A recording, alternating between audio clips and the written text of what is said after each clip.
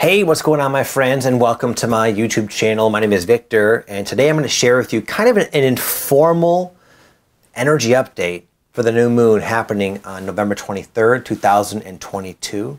As you can see, I'm in my bedroom right now. The kids are home from school. It's been kind of a busy week, but I did want to get a few things out to you in regards to this new moon, again, in kind of more of a off the cuff format.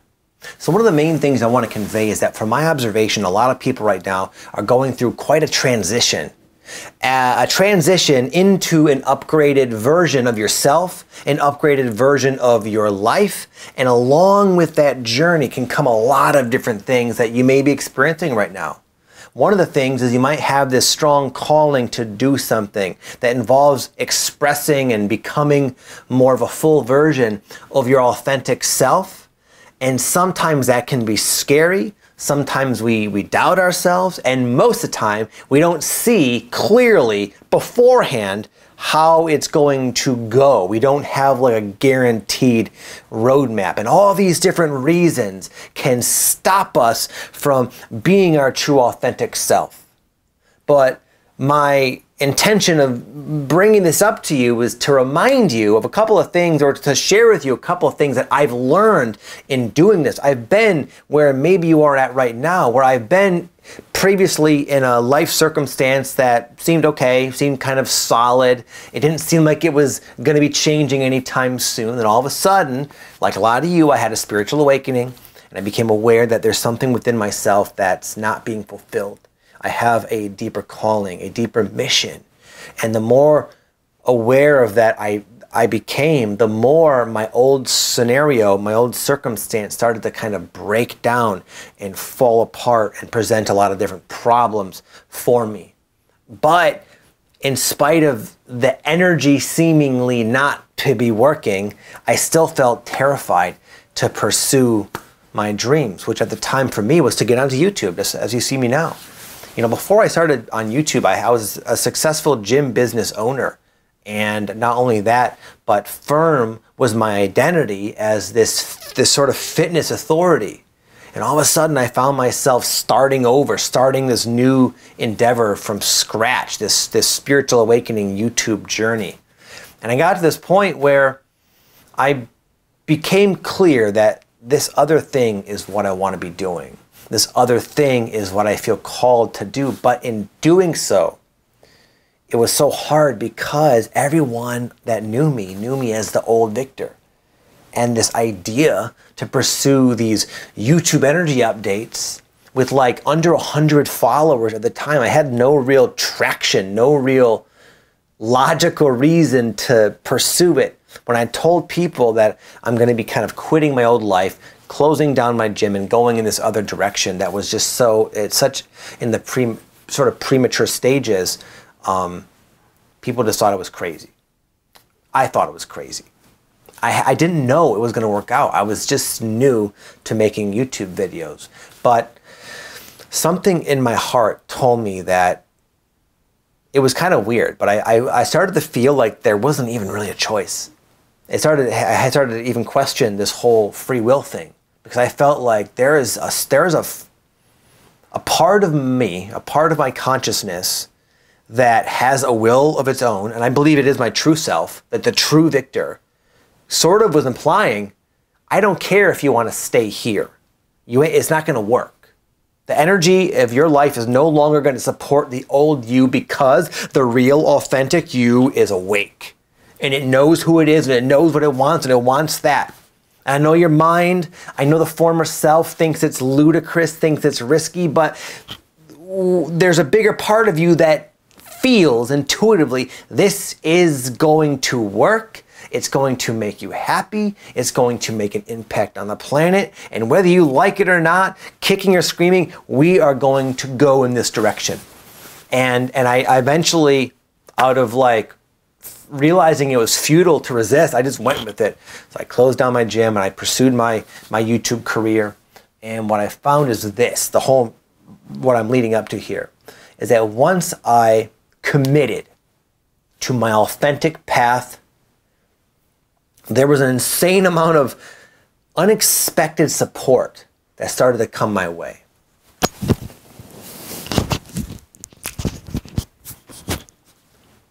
When I needed money, money would be there in, in sort of bizarre, random, unexpected ways. When I needed to hear the right uh, message, I would just open up a new book that I ordered a week ago would finally get, come in the mail, uh, uh, you know, from Amazon, and I would open it up, and there would be exactly what I needed. There have been so many little mini ironies that gave me exactly what I needed, exactly when I needed it to somehow help me keep putting one foot in front of the other. And the more I walked this path, the more relaxed I realized it's okay to be because life will support life. Your purpose, your calling, that feeling inside of your body that longs to be expressed and brought into fruition, in my opinion, that is the life force itself wanting to birth something through you for your own benefit because it feels good to live an authentic life of creative expression. But also, the agenda is it's going to help the whole in some way. And because of that, there just seems to be an infinite amount of ways that that life can support you. And I just share that little story with you. If you find yourself, or I was thinking, like, man, can I really trust this feeling inside of me? And the answer, from my perspective, is Yes, you absolutely can, and I hope you do. I hope you do for your own sake, and I hope you do for the sake of all the people that you living your authentic life is going to positively impact. I also want to share another theme I'm noticing, and it has to do with loving conflict resolution. You might notice some, sometimes we go through these phases where it seems like there's a lot of different, a lot of polarization going on within the collective. A lot of like very uh, confrontational butting of heads about particular issues or topics or beliefs or whatever perspectives. And and that's one thing. That's like the collective playing itself out. But you might also notice it's happening within your own more close, your, your closer knit relationships that you find yourself butting heads with somebody who, who's a loved one, who's a, who's a dear friend. And I find that when the energy is very charged like this, sometimes these confrontations can get blown out of proportion very quickly and, and become quite messy. And yet, luckily, there's a very simple solution. And it's not always easy, but it's always simple. And it's this it's to speak your truth politely whenever the moment calls for it. I know it sounds simple, but speaking your truth when you know it's going to be disagreed with, it's not easy. Being polite when the energy is very kind of intense and charged, or you're triggered, or the other people are triggered, not easy. And doing it in the moment that calls for it, that's really tricky because sometimes it's easier to kind of bite our tongue and not say what we feel guided to say. And that's when we can like ruminate that's when those unspoken truths can kind of fester and become distorted by our own ego. And then the other person might have that happening with them, and all of a sudden, it's no longer two brothers or sisters communicating together. It's more so one ego wanting to be right versus the other ego wanting to be right, and it can be kind of nutty. And I just think that it, that's that, that's been a pattern I think that has happened within all of humanity for as, long as we can see into the past. And I feel like there's a that we have the opportunity to change that paradigm. To really just be more loving and compassionate and honest within our communications. I've found in my own experience that when I do that, it's always it always results very good. It's always a good result. I almost feel like sometimes people are very surprised, and it, it's uh, it's a way of really cutting through all the nonsense, cutting through all the tension, just by being kind and sweet and polite and authentic. And um, I say this because I've had friendships in the past that have gone south, that have dissipated completely because I didn't do these things. I thought I was right. They thought they were right, and now that's all there is. It, it, now it's it's become where we can't reconcile it. And what comes to mind is this quote not this quote, it's a poem actually by Rumi. Um, and I won't read the whole poem, but it's a beautiful poem, and I hear it every single time I go to Costa Rica and do this particular plant medicine ceremony with Wachuma, the, the, the master. He always he, he reads this poem literally every time. I hear it three times a year. And the poem, it's let's adore one another. Let's adore one another until there is no more you and me. There's a whole other beautiful part of the poem, but that's essentially all it is. It's like, let's adore one another because at some point we will be dead and that'll be the end of it. And what's, and then, then, then nobody wins anyways.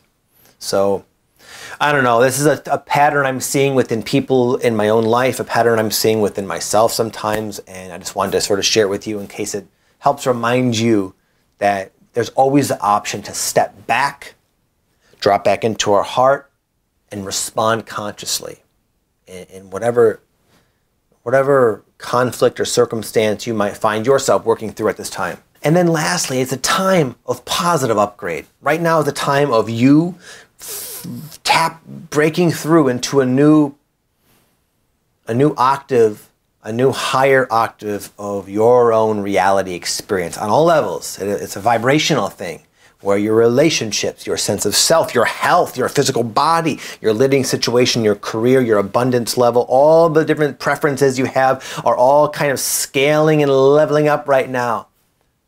And it's it's because of the work you've already done. There's no stopping it. There's no thing you need to learn or understand or figure out. It's just a natural happening as you continue to go do all this shadow work that life seems to like force you to do from time to time it's we're all going through the wringer to an extent just by living here on planet Earth at this time, and there's a lot of positive benefits of doing that, and, and it's this leveling up, this this this point, this period of it, this expansion. But sometimes, as crazy as it sounds, we tend to fear. We tend to go into fear, or we tend to resist, or sabotage these blessings from the universe. What comes to mind is uh, several years ago when I, I was on in my truck one time and I looked on my phone and I saw one of my YouTube videos was going crazy. I was seeing all the stats and I was like getting like like hundreds and hundreds of followers every single hour at this point. It was like it was going viral. And it's something it's like my I don't know 400th video. It's a project you could say I've been working for for a very very very long time. Then all of a sudden it finally started to kind of uh, climax and you know what I felt? I felt terror. I felt this extreme, my heart started beating very intensely because I became like, oh wow, this is just not familiar. This is too much. I don't know. I don't want to lose it. I don't want to get attached. What if it goes wrong? All this fear came up to something very positive happening in my my YouTube career. You know what I did? I let the fear get to me and I, I sabotaged my growth. I, I forgot what I did exactly at that time. I've done it multiple times. Some of you have observed. But I did something to stop the growth, to stop the expansion. Why? No, no logical reason except fear. That's the only, the only explanation, and it was an illogical fear. I'm having it right now in my own life, why I'm sharing it. Me and my wife Patty, as I may have shared a few times, had been on the fence for a couple of two, three years now about having another child. And I was recently in Costa Rica, and we felt uh, we felt the presence of this little, what seemed like a little feminine little girl, little little girl that wanted to come through, and it was just so clear and so synchronistic, and the whole message, the whole, my perception of all of this, which would be very difficult to articulate, was that this new little baby bird being what this being wants to come into your life and she's going to be just bring so much joy to the family to our lives to the world. And the only question is can you let it in? Can you allow yourself to let life become even more awesome? And what i found is that as exciting as this all was and as much as it resonated i found myself feeling a lot of fear. Well, i don't know why it, it kicks up for me ancestral trauma, past life stuff, all this old stuff that I have come to associate with goodness wanting to come into my life. But I decided I'm not going to let the fear stop me this time. Not with this.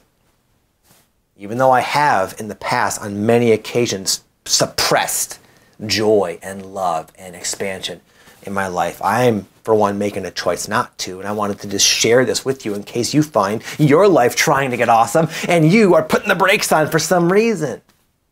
I don't know about you, but I can't tell you how it's going to go, but I'm not, I'm going to see what happens this time. I'm going to keep my foot off the brake and let life unfold. And I have a lot of trust and faith that it's going to work out and be as awesome as I anticipate. And I hope that you can do the same thing.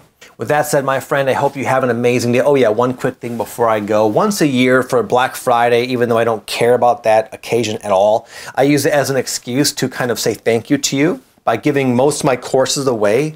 All of them combined that I'm packaging together in this particular situation. Uh, the cost, if you were to buy them all separately, over $3,000 and you can get them all for $97. It's like 3% of what I would normally charge.